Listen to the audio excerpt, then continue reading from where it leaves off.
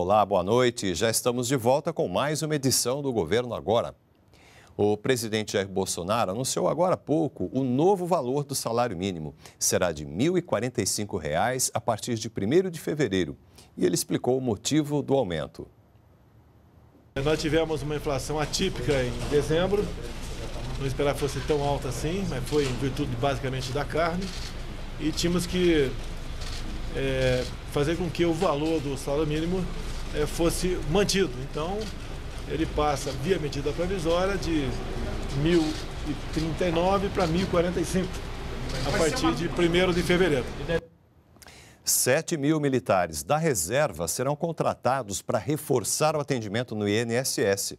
Além disso, alguns procedimentos serão simplificados, como a dispensa da autenticação de documentos.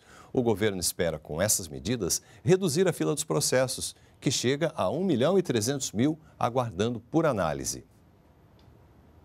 Com essas ações que nós estamos propondo, a nossa expectativa é que ao longo do mês de março, quando elas estão, está, começarão a ser implementadas na sua integralidade, porque após a publicação do decreto há um chamamento público, há uma seleção, há um treinamento. Então imaginamos que no mês de março, abril, isso começa para valer.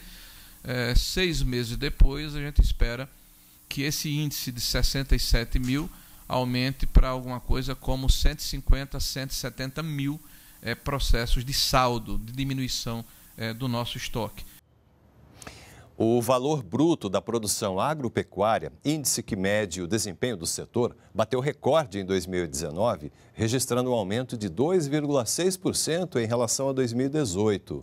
Foram 630 bilhões e 900 milhões de reais, maior valor da série histórica que começou em 1989.